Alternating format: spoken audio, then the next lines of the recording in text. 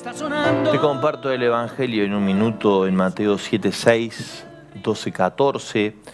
Aparece Jesús invitando a recorrer un camino por la estrechez de una puerta que se abre delante de nosotros y lo angosto del camino que nos lleva a esa puerta. ¿A qué nos desafía esta invitación de Jesús? A encontrar en la rutina tan particularmente tediosa de este tiempo la alegría que estamos queriendo hallar.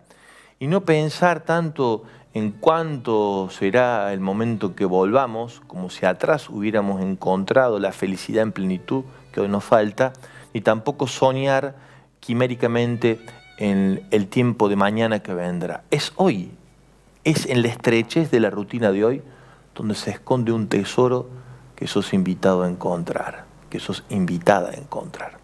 Cerca tuyo, no muy lejos tuyo está la sonrisa que estás buscando para transitar este tiempo duro y difícil que esconde esperanzas que no están sino a la puerta para que la podamos hallar y ahí sí, y desde ahí sí soñar con lo que vendrá. Que tengas una hermosa jornada.